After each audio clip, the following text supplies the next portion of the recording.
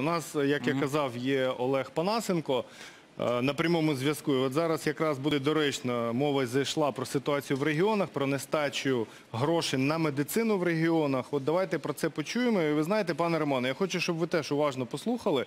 Ви кажете, грошей вистачає. Катерина зараз зазначила, що є конкретні приклади, я хочу їх просто назвати.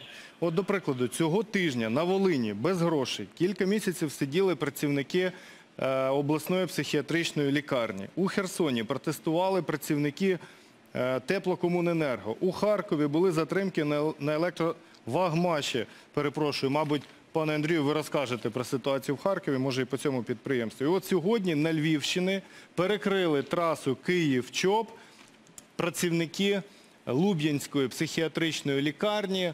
Власне, що відбувається, пане Олеже? Чи є це вже ті невиплати, якими нас лякали економісти? Наскільки ця ситуація поширена в Україні? Добрий вечір, шановні гості і шановні слухачі.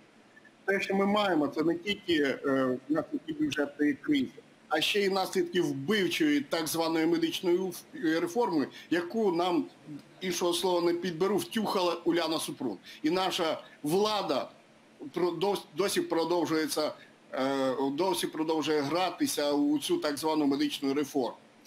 Чому, наприклад, виходять і бастують працівники психіатричної служби України? Чому навіть у стаціонарах у лікарів зарплата в середньому 6 тисяч гривень, а у медичних сестер е, зарплата 4400 в середньому е, гривень? Навіть з тими доплатами, яке надало нам Міністерство охорони здоров'я, медикам надало там 3500 лікарю, 2500 е, медичній сестрі. Так е, треба ще й врахувати, що всі ці надбавки також оподатковуються. Тому що нам створили замість загальнодержавної соціальної страхової медицини, яку обіцяли нам і президент, і е, партія зелених, нам нав'язали цей закон про державні фінансові гарантії, сказали, що це благо.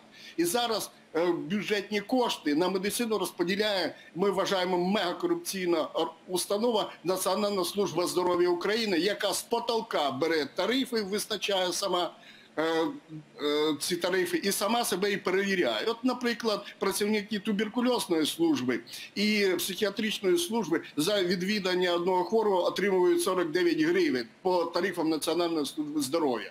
То виходить лікарю психіатрію не вистачає навіть на мінімальну заробітну плату.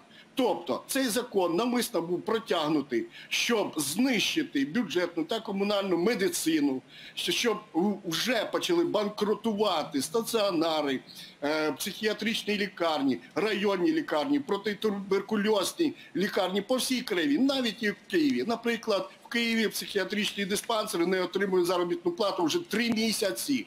Працівників питають, численні кореспонденти приїжджають до них і питають, а чому не ви виходите? А вони кажуть, якщо ми підемо, а нам є куди піти, то наші психіатричні хворі залишаться без медичної допомоги, без належного нагляду і почнуть що? Вбивати, як це вже сталося в рідному місті президента, де психіатрично хворий вбив двох людей, поранив вісьмох людей. То е, Сподіваємось, до цього не ось дійде. До чого Пане дійшла Олеже, давайте. Ми зараз багато почули такої проблематики дуже гострої. І давайте почули ваші проблеми, адресуємо да, ці напевно, питання до влади, до до монобільшості. Олександр Качура, ви як представник та заступник міністра фінансів, можливо, по черзі. Ну, По-перше, з позитив, бачите, хороші книжки людина читає, там Достоєвський і так далі. Про проблеми. Але тут насправді не треба перетворювати якийсь твір такий на вільну тематику, тому що все-таки хотілося б, щоб конкретику чути. Що Ні, конкретика і в тому, що дійсно, люди дійсно, місяцями не дійсно отримують були заробітну названі, плату. е, названі медичні заклади, які з ними треба розбиратися. Я обов'язково по цьому питанню перевірю. Я думаю, що заступник міністра ще також надасть відповідь. Якщо в цілому сказати, що відбувається, там щось людина просто каже, але не чутно, на жаль. Е, Відбувається дійсно те, що називається вже така боргова кабала. Тому що жахають звіти рахункової палати, які вказують на те, що кожна восьма гривня, вдумайтеся, в цьому році з видатків була е, перерахована на рахунки заборгованості, які були за всі ці роки у нас е, брали, брали, брали. І зараз нам розповідають про те, що ну от нам треба під час пандемії коронавірусу, економічної кризи відмовитися від тих фінансових інструментів в значно меншому об'ємі, чим коли брали їх під е, час нормальних е, все-таки процесів в країні економічних. Тому я за те виступаю, щоб ми припинили рано чи пізно співпрацю з Міжнародним валютним фондом. Нам необхідно в будь-якому випадку шукати інструменти для того, щоб розвивати свої підприємства, для того, щоб таких ситуацій не було, про які було нам озвучено. Але Думаю, чи що можливо це це не є системною проблемою. ситуації? Я чую точково, що тут не виплачують, не виплачують на якомусь підприємстві. Розбираємося, починає обласна державна адміністрація е, аналіз всієї ситуації і перераховують. Тобто це не системне явище в державі, але вони є, на жаль. Я думаю, що якраз представники Міністерства фінансів, яких ви призначали до уряду, повинні з цього приводу, мабуть, нам надати всім тут відповідь. Тому що для мене Давайте зараз дамо інформація пару слів конкретно по цим пану закладам Олегу, е, який нові хотів є. ще договорити. Пане Олеже, ми вас уважно слухаємо.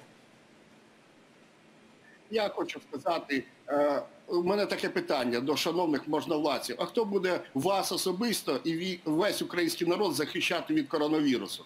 За даними Міністерства охорони здоров'я, через таке ганебне ставлення держави до медиків за ці 9 місяців уже звільнилося 34 тисячі медиків.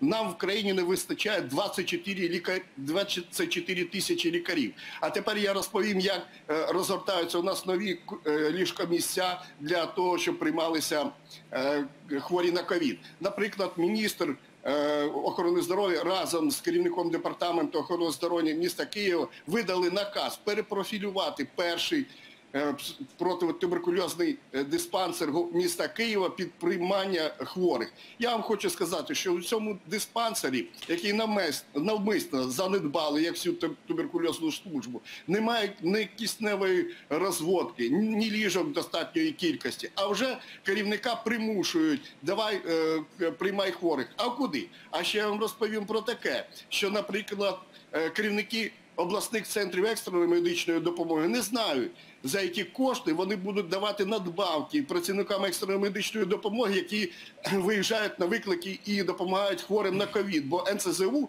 ще так і не підписала на е, два наступних місяці е, ковідні пакети, як і не підписала з першим протитуберкульозним диспансером. Пане Олеже, дякуємо. країні Дякуємо. За, ці, за цю Але- інформацію у нас у другій частині, нагадаю, буде Міністр міністр охорони охорони здоров'я. здоров'я. Ми ще повернемось до цієї теми.